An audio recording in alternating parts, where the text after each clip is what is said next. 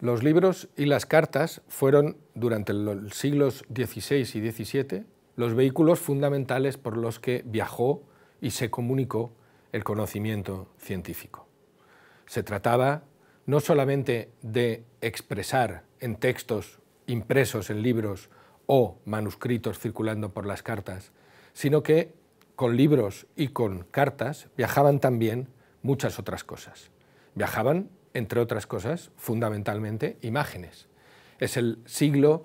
en el que las técnicas de grabación para la imprenta o el empleo de artistas cada vez más eh, perfectos en su reproducción de las cosas de la naturaleza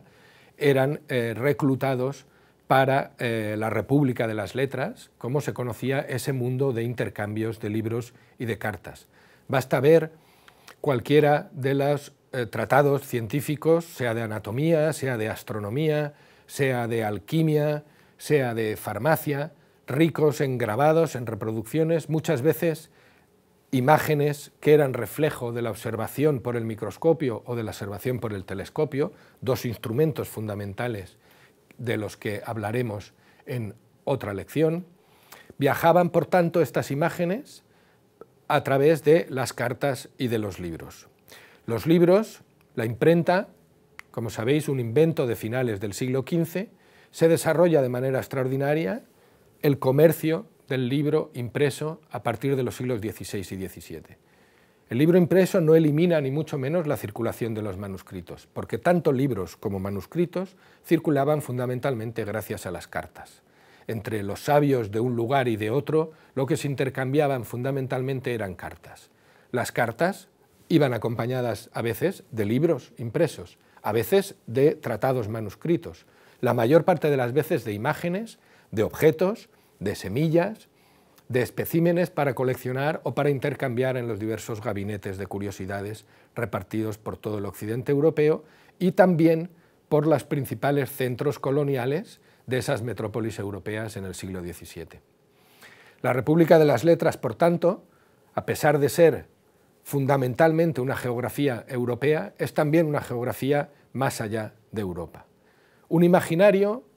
en el que se embarcan filósofos y sabios, fundamentalmente del siglo XVII, que construyen una imagen positiva de lo que es el intercambio de conocimientos, teóricamente por encima de las divisiones confesionales, religiosas, territoriales o dinásticas que ensangrentaban el suelo europeo con las guerras. Naturalmente se trata de una visión idealizada. En esta República de las Letras, en este intercambio altruista de conocimiento, hay mucho de interés, mucho de intereses geopolíticos, mucho de intereses comerciales también, y mucho también de prestigio y de intercambio de prestigios entre los sabios de la Europa de la segunda mitad del siglo XVII. Uno de los fenómenos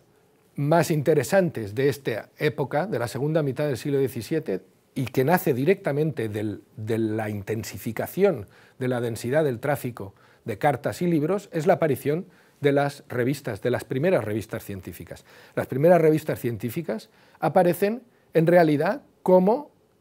cartas llevadas a la imprenta o como reseñas de libros que han aparecido en la imprenta. Es decir, las cartas y los libros son el motor fundamental que justifica la aparición de este nuevo género de la comunicación científica que son las revistas. La Académie des Sciences de París con el Journal des Savants o la Royal Society de Londres con las Philosophical Transactions no por casualidad, publicaciones que nacen en el mismo año, dan el punto de partida a otras muchas corporaciones de científicos y filósofos naturales que comienzan a publicar reseñas de libros, que comienzan a publicar cartas dirigidas en general a eh, los sabios de la República de las Letras y que consolidan así, a partir de la segunda mitad del siglo XVII, como decía, este género nuevo que es el del periodismo científico, el de las revistas científicas.